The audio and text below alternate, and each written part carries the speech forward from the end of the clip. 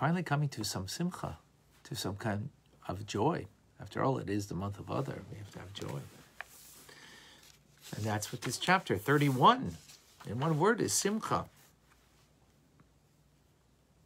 What have we spoken about is that a person, when they will meditate, think about um, the evil impulse that they have, the animal's soul within them that they want to humble and not allow it to control, to let it to control me. So you're going to have a serious conversation, a raging one perhaps, one that is humbling in your spirit that you feel lesser than all people. That could be a downer. The Alter Rebbe says that's okay. That's a downer. But it's only very temporary moment of being a downer, which is an expression of klipa, klipas noiga, the good in klipas noiga, in the shell that covers over the divine. Because anything that is of, of divine nature, any mitzvah that you engage in, like right now we're learning, it has to be. It has to be with strength and with gladness of heart, with joy. You're doing a mitzvah, there's no room for anything else but that. It's right now. Put aside any anxiety, put aside any things that are, are a downer, because we're doing a mitzvah, it's got to be done with joy. Now, not every moment we're doing a mitzvah, there might be a moment that we're in kind of um, down because of some things that are happening in our lives. So, as the Alter again said, that that's okay, but that downer temporarily is brings us to a more important state of being, and that is looking at ourselves with bitterness, looking at our situation, our spiritual situation, with bitterness. Ah, bitterness is not PC. Well, the truth is the truth. There might be bitter things that I need to deal with in my life in my life, not bitterness towards anybody else, that's sinful, but bitterness towards me is a vehicle for change. Whereas sadness brings you down, bitterness is great vitality and is the tool to be able to make, affect change. And it's a holy thing then. It's a holy thing. This is what the Alter Rebbe says. It will lead us to having a contrite heart to break that negative tendencies that we have from within. And with, with that, the Alter Rebbe says, we'll be able to arrive at true joy. And we'll have a double measure of comfort. Why? Because you eliminate the negativity, the, the, the downer, because you've dealt with what you need to deal with. You've dealt with a shortcoming, an issue, something that you, oh, what I do that? And you had that bitterness and change. This change comes from within. As you, everybody knows the story. It's been told before. A guy comes to the local um, depanneur, local 7-Eleven. He buys a few goodies. He gives a $20 bill. And you know, only came up to 785. He puts out his hand and he says, change, please. And the girl looks at him, or the guy, whoever, and says, sorry, sir, change comes from within. Yes, we can't change others, but we can change ourselves. What's the vehicle? Well, first we're going to be down about the situation if we've meditated and thought about our situation, but that should be a very short temporary space that will lead us to a greater place of gvura, strength, of um, bitterness that will you will bring upon the, the source of that negative uh, from the source of the negativity that comes from gvura you bring it from a holy place and that bitterness is then capacity for us to change, to shift, and then rid ourselves of that negativity from within. We've owned what we need to own. So now we remove it all. We have great assurance that God is going to be accepting that and that we have uh, been cleansed. And then uh, that brings us to a joy. Dealing with what you got to deal with, dealt with it, that itself brings joy. Now, to the next level of joy. That's the first level. After coming from the dark place from within and dealing with that darkness from within, dealing with my challenges, with my failings, that itself brings joy. Now, a person should say to their heart, you know, indeed, without a doubt, uh, I am removed from God. I have a place within me, I have something within me that is a, an evil inclination, an animal soul that is despicable. Its nature is despicable? Yes, God put that in there, in me. Absolutely, right? And it is true. It is a true part of me. Remember, there's a Beinoni. The righteous person has transformed it. So even though you've owned it, you didn't transform it. So it's still there its nature is there, right? The evil impulse that we have in our heart was not transformed, so it's still there. So you're recognizing it, right? However, that's my body. That's my animating soul, my animal soul, right? Yet, yet, and this is the important thing, there's within me something else. That's what is that? Something that we haven't dealt with in the last few chapters because we were dealing only with one part of me, the animal soul that we wanted to humble, right? Because you need to do that, uh, not to allow it to control us. So now you say to yourself, yeah, but you know what? There is another part in me. And that is literally, mamish, a part of God, my godly soul. See, we're shifting now how we're looking at ourselves. We dealt with the negative side. We recognize it's still there, even though the feelings I dealt with. The nature of that place where the failings come from, the animal soul and the body, still there. Can't fool ourselves and think we've transformed it and we're righteous. We're not.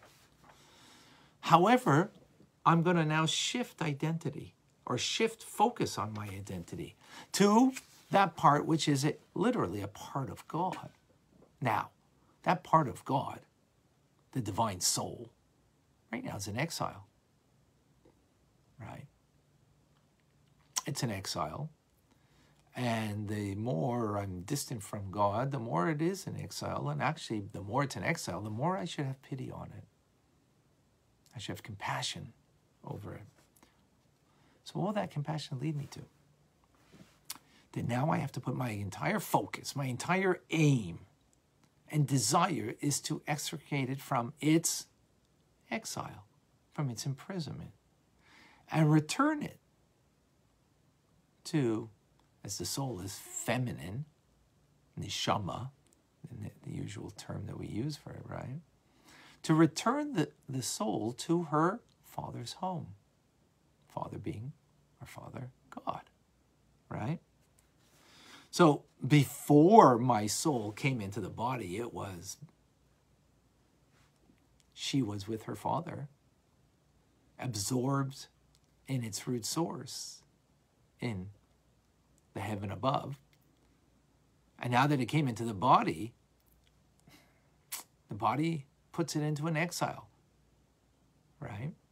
Remember, the righteous is not that way, but you and I, even the Beinoni, it's still in exile.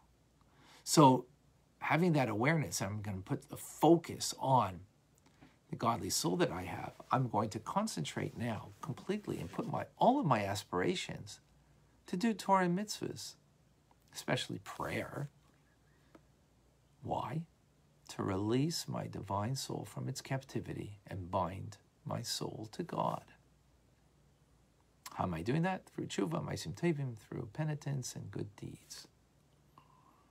And as one hour of tshuva, maisim tevim, of penitence and good deeds in this world is worth all of the world to come. Because here I can extricate my soul, bring it back to its attachment and closeness to God.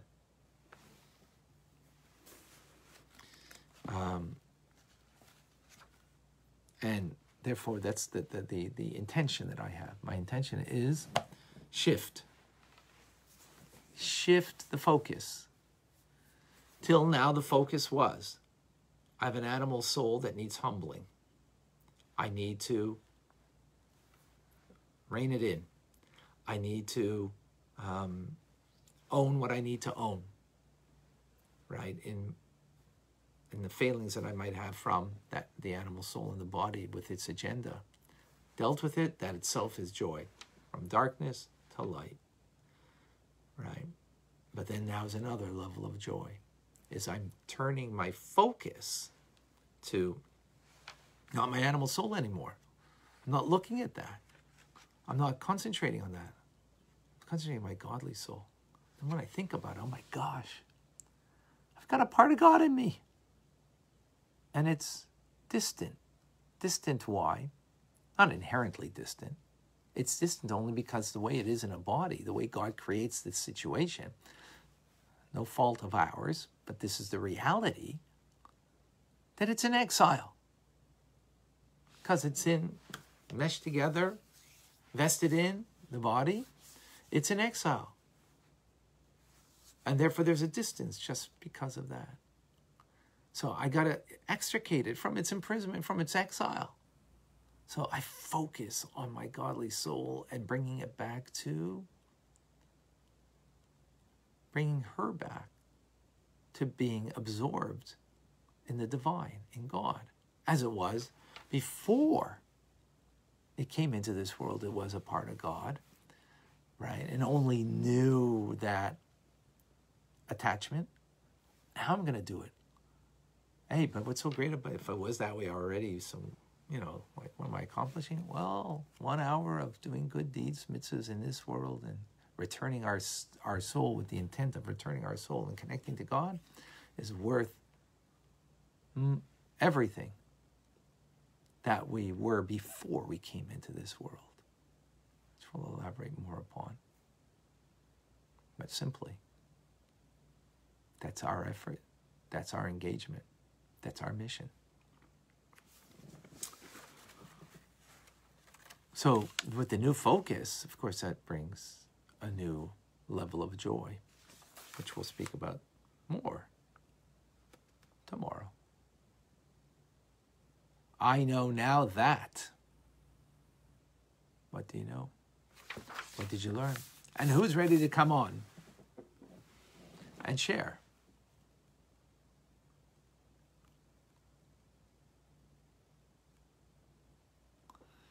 Uh, Michael says it sounds like it's better not to feel feed the animal soul within ourselves. Absolutely correct. We should. Simone asks, How do I change? I was crying about that this morning. Well, that's what we uh, just, uh, the idea that we just brought out, right? Of um, dealing with what we need to deal with. And the last several chapters, Simone, uh, if you want to take a look at the look back, you can see you can, by the way, folks, just a reminder in on YouTube, Tanya Rabbi. Um, please subscribe. And there you get all of the teachings, everything. Oh, great place to go. Um, so, Genie, I know now that shifting focus from my animal soul to the knees of my godly soul brings real joy. Very good. Anna, uh, I hope that I, I know now that after I humble my animal soul, I feel joy because of the success. Afterwards, I have to focus on the divine soul in me. There's an exhale because it is it is away from the source. Excellent. Susan, I know now that to that a focused shift is a spiritual good thing. Very good. Anybody else? Um, anybody new to come and share? Michael? Uh, Katie, not yet, probably. Lisa, Andrea, Stan, Sandy, Sarah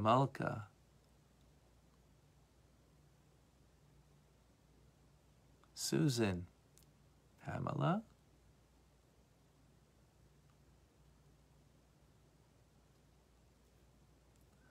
Um, TJ, Simcha, Marina.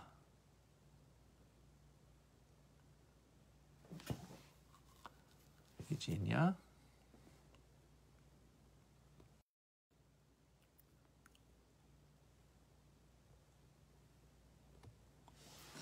All right. Andrew, free the divine soul through Torah mitzvahs. Absolutely. David, I know now that I need to focus on my godly soul when I struggle with challenges. And though my and through my bitterness I can push away these challenges and move to being joyful. Excellent. Michael, I know now that by owning our animal soul, we can move forward to Simcha and grow my godly soul. Very good. Excellent.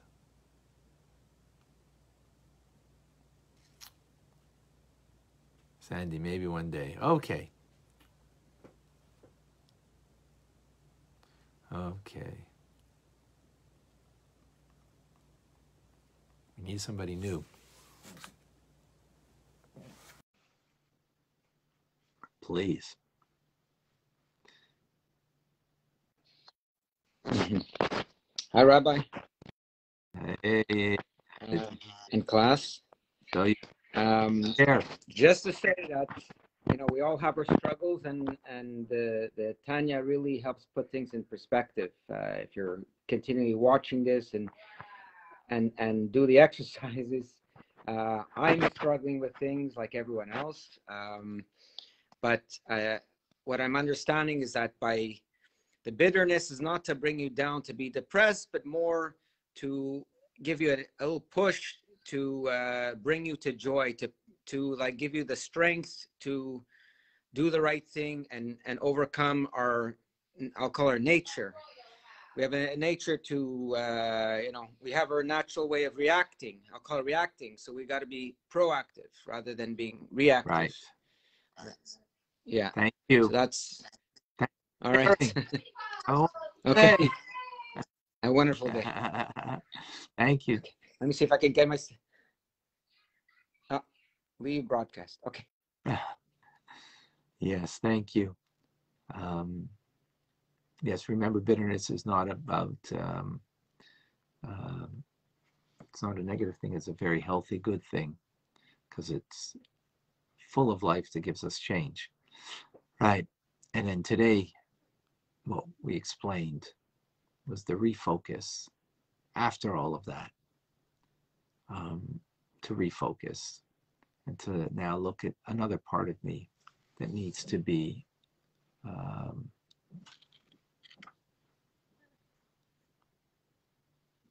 needs to be appreciated. The divine. And first to have that pity.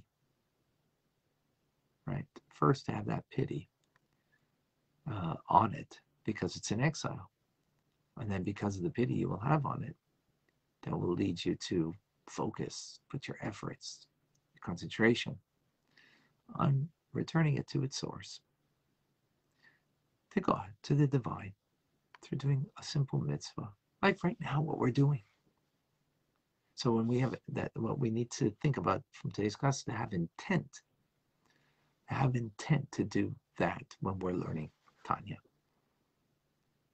I'm extricating my divine soul from its imprisonment, its exile, and bringing it and attaching it to God. Amazing. As amazing as always. Hi. All right, folks. A reminder today. Um, some of you I don't see coming to our yeshiva. Myyeshiva.ca on Zoom. It's also on uh, Facebook, uh, Chabad ZK. But uh, do come and join us. Learn, learn, learn. Remove your, get your, our soul, our divine soul, out of its imprisonment. All right, folks. I'm Rabbi Ronnie Fine coming to you from Chabad Zichron Kadosh in Montreal, Canada. Where it's a privilege and a pleasure to share with you the Tanya. Have a wonderful day.